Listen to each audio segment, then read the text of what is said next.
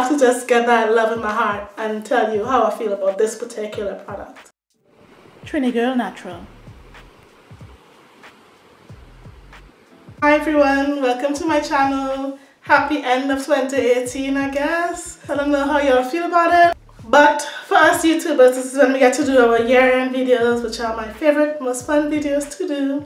I guess you guys like them the most too. In this video, I'm telling you what my favorite products are as of 2018. So some of them are old loves, some of them are new loves, but they're all loves. So if you see a million reviews and you just want to know which ones are the best, these are the products that are the best for my hair. So again, I'm going to go in order from shampoos down to, I guess, finishing sprays or something. My two shampoo bays right now, Bask and Bloom Gentle Herbal Cleanser and Blue Roze Beauty Cocoa Rose Creamy Shampoo.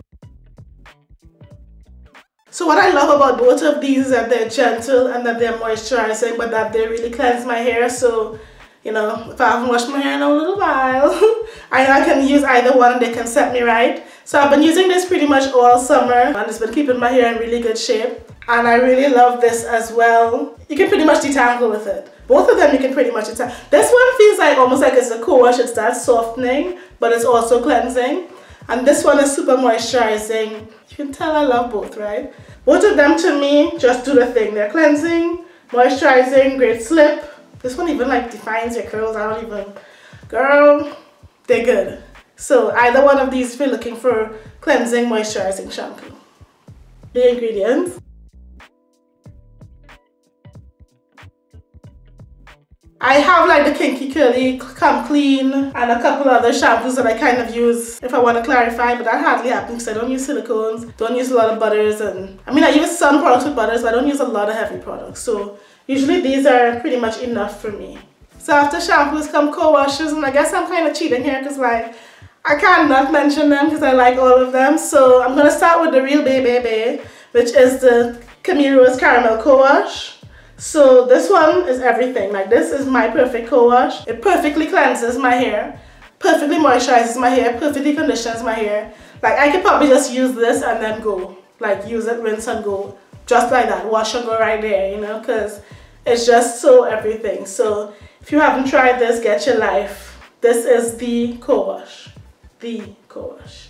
And I do have reviews of a lot of these, including this and the two I mentioned before on my channel. So be sure to like search through my channel for reviews and demos on all of these, pretty much. Yeah. Bae, right? So this is it, the numero uno. But I could not mention my other co-washes because I love co-washes so much. My other bays are these three. I'm trying to show them all at once so they could kind of tie. Um, blueberry co-wash, as you know, is my staple. So I tend to get some variation with this one based on the batch. So some are foam more than others. So the ones that foam more are a little more cleansing. The ones that foam less are a little more moisturizing. But either way, it's a great amount of cleansing and moisturizing. Either it's a little more cleansing or it's a little more moisturizing, but it's still kind of near the balance. So I love this, and this is my staple. This is the one I usually just reach for. In fact, I love the Camille Rose Caramel Core so much. I hardly use it because I'm like saving it. I know for what. So definitely gonna use it more in 2019. I actually got, I have like at least four of these. So I can afford to use it more. Since I don't see them on the ground, I tend to like save them, like not use them, but I have enough now to use comfortably. And then this one, the green tea and ginseng co-wash, which I tried recently. I think it was in my summer stash and I really loved it. So it's a little bit lighter and a little more moisturizing, a little less cleansing, I guess, than the blueberry co-wash, but my hair just felt so light and clean and moisturized. I really had a fun time using this. Plus, of course, green tea and ginseng are great ingredients for the hair and scalp. So definitely will be repurchasing. Definitely love this as well. And the Blue Roze Soap Co-Wash. I love this. Let me see, let me count the ways. of course, you know, moisturizing, cleansing. I don't know, it just feels amazing. I don't know how to explain it to you guys, but it's love. It's light, but cleansing, but moisturizing. Um, I love it. So I usually pick up this anytime she has a good sale for Black Friday. I'll get me some of these. So next we have conditioners and I renamed this segment conditioners I use as leave-ins because as you guys know I don't really like to use my pricey conditioners as rinse outs. I leave that to the cheapy drugstore conditioners which I might mention if we get if you have time at the end of this video.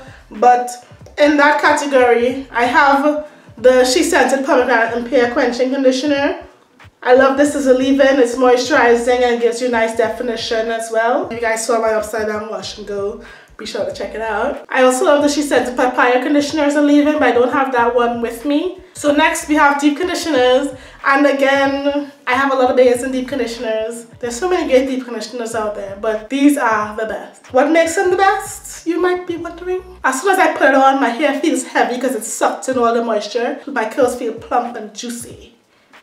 That's me. And that's the ones I'm to describe right now.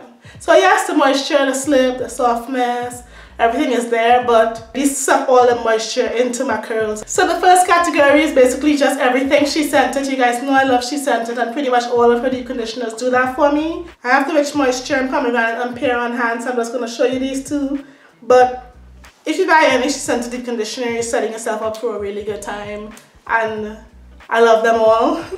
I have the Curl Moist too, although this one's kind of finished, but yeah.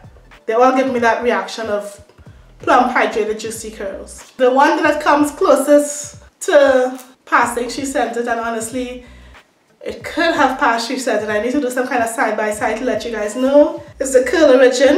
So I have this Maracuja Deep Recovery Conditioner, and I absolutely love it. It's just as hydrating as the SheScentIt Deep Conditioners, but it's a little richer and creamier and a little goes a longer way. Where we purchased Best of 2018 and I do think this is going to be around for a really long time in these yearly videos. If I tell you I may even like it more than the SheScentIt conditioners, those of you who subscribe to my channel know there's some serious stuff right there. I haven't tried overnight mask yet. Definitely my bad, mea culpa and I will try next year and have it for you guys definitely by the summer stash flashback and then of course I had to mention Bask and Bloom and Soultanicals both of these and not just this one I love the repair mask from Soultanicals as well and a couple others. So I can reach for this and within five minutes I can rinse out because my hair is amazing. So that's what I love about this and pretty much everything that I mentioned here, of course. And of course, uh, you know, great ingredients are given. The ingredients on this is kind of blurry, so I'm not even to do it to myself. But let me show you the ingredients on this.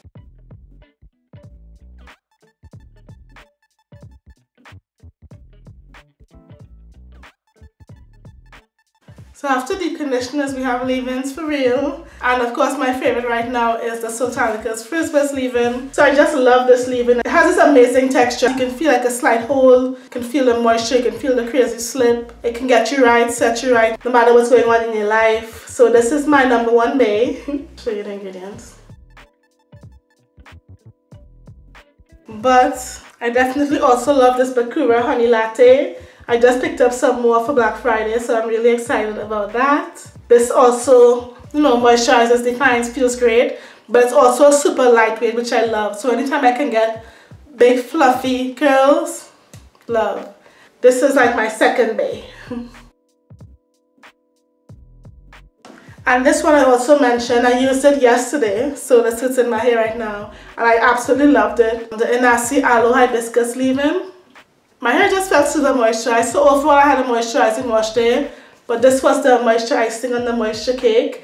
Yeah, if you follow me on Instagram, you already know like my curls look so frizz-free and everything. So it could have been just a fluke, you know, season change, a combination. Because like I said, I used the co-wash in this line. So I sprouted curly VC and then this. But some magic happened yesterday and this was involved. So I gotta mention it and I'm gonna use it again and kind of give you guys some feedback soon.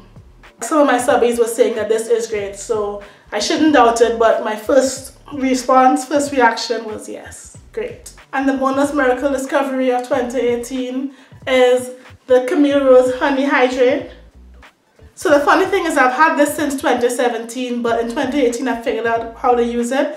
So this doesn't really work for me in wash and goes. When I put this in like a twist out or braid out, my hair stays moisturized forever, for weeks. Like it just keeps my hair moisturized like nothing else in this world. So this is its own new category of longest lasting moisture leave-in or something. This. I'm definitely going to keep repurchasing this and it's always going to have a special place in my stash as that I need to do a protective style and get that, keep that moisture in for a long time. I don't want to struggle. My hair is past week two and I need a save. This is for that. So the ingredients are pretty simple. So it might even be something you consider DIYing. I just don't like to put honey in like leave-in DIYs. Like I'm just worried it's gonna be sticky and you know, worried I'll get into trouble. Like, so I don't know. So I might try that, but I definitely loved it and this wowed me and this was my equivalent of run out of the room screaming for 2018. You're welcome. I'm moving right along to creams. So I always have to give a disclaimer for creams that I really don't use creams often enough to really have an opinion on like what is the best and so on. But I can just tell you what I've been using lately that I liked. And definitely this SheScentIt Moisturizing Yogurt was everything for 2018. So it's light, but it's defining and moisturizing. And it's super light and fluffy. I definitely enjoyed using this. I want to say this was my favorite cream of 2018. These are the ingredients. So this is the new. I believe it came out this year. Loved it. And you guys know I also did like a wash and go with just Justice curling jelly. And it definitely did the thing for me in terms of like moisture, soft hold and definition. I feel like it has more hold than the yogurt. Uh, the yogurt. And it's also kind of like a heavier consistency as you can see. So if you're looking for something a bit heavier, maybe you can try this one. But if you're looking for light, then try this one. And I think I want to say this one could be more moisturizing, but you know, I haven't done a side by side or anything. So light moisture, this one, moisturizing, soft hold, this one. And I'm still going to include my staple, which is the Camille Rose Naturals Aloe Whip Butter Gel. This just gets me where I'm going anytime I need a bit of extra moisture or softness. I usually use it as a seal, like in winter and stuff, just to give me that extra bit of moisture and sealing my leave-in and stuff. As you can tell, it's well loved. and it smells amazing and I love the texture too. It's not too heavy, not too light. There are a lot of creams I like. I like pretty much any cream I ever tried, to be honest. So I'm a horrible person to tell you what the best creams are, to be honest. I can tell you what the best everything else is. I just need to work on creams. And you know, what, you saw, I started doing a lot of braid outs, some, some braid outs and twist outs and stuff this year. So if that trend continues next year, then by the end of next year, hopefully I'll be more informed and better able to tell you. Let me talk about treatments. This Curl Origin Reparative Conditioner is my new base for protein treatments. It definitely did the thing. I feel like it was closer to ApHogee or stronger than the other natural protein treatments I've tried. SheScentIt Okra Reconstructor used to be my bae, but it's not even a comparison like how with the deep conditioners it was kind of close. Curl Origin might have had a slight edge. Curl Origin definitely won the day for protein treatment. This is one of those videos that I have for you guys and I really need to like edit it and put it out there. Loved it. My curl snapped back. The shrinkage was real after, which for me is a sign that it worked. But it was super moisturizing as well. So moisturizing and gives you that dose of protein. Definitely my babe, my one and only favorite protein treatment. 2018 and beyond. and then this is my favorite tea treatment, my Blue Roze Chai Hair Tea. So I really can tell that this helps with my shedding and it's also moisturizing and has great slip. So I just use it as a regular deep conditioner when I want to reduce some shedding a bit. And these are the ingredients. And those are pretty much the two treatments that I use, occasional protein and this occasional tea. And I guess I do clay sometimes, but I really just DIY my clay because, yeah, I don't need to pay, but my clay treatment is really nice. Check out my clay treatment video to get on it. As for gels, you guys already need to see my gels. It's usually the same list. Kinky Curly, Camille Rose Naturals, Uncle Funky, Caravela, Bask and Bloom. Um, other than that, I'm using my DIY gel. I haven't even tried many gels this year. I have the TreLuxe gel to try soon, probably next weekend. And I also have the Bronner Brothers gel that I did try to kind of give you guys a review on. So let me know if you want to see that. And as I am gel, curling jelly, I also really, it loves my hair, so I need to just give up and love it back. It's one of those things where like the ingredients may not have been exactly what I wanted, but soft, moisturized, long-lasting wash and go, as I am curling jelly is also on that list. I don't buy it often. It's kind of like a redheaded stepchild, but I gotta give Jack his jacket on that one. So other than that, you've seen these before, I guess. you know, just gonna quickly, Kinky Curly, Camille Rose. Caravela, Bask and Bloom. So the Uncle Funky isn't really my favorite just because it feels a little weird on my hair. Like when I use these four and the As I Am, my hair just, I love it. I know I'm just in love. And when I use the Uncle Funky, yeah, it's looking good, you know, but I can't really, I'm not twirling, I'm just totally in love like when I use these other four. So that's why these are like, I dug them out and the Uncle Funky is in the stash somewhere. But it is on the list too, I'll give it, I'll give it the list. It, it deserves to be on the list because my hair is soft and moisturized and my wash and go last. Sprays are the same as 2017. I'm liking the Soultanicals Hair Sorrel, which I just find really moisturizing, but also, you know, helps to control frizz and smooth your cuticle and everything. And this Revitalizing Leave-In, which really helps to seal in moisture and definitely controls frizz. So this one I definitely I need to control frizz, I'm on this one. If I just want some nice hydration, I'm on this one. But they both do a little bit of both. So I've been trying to stop using this just because of the polyquats, but I'm giving up on trying to hate this one. So I'm going to keep it in my life because I like it. I use refresher sprays to just, you know, mist a little bit after wash and go. And both of these, like, you know, day 10 or wherever. And both of these got the job done for that. I'm done. Best of 2018, yay! I hope you guys had a great 2018. I hope you guys have the best December 2018 and the best 2019. So let me know which of these products you like or which of these brands you like or what your favorite products are down below. Let's talk products, let's talk holiday season, happy holidays, and see you down below and in the next one. Bye!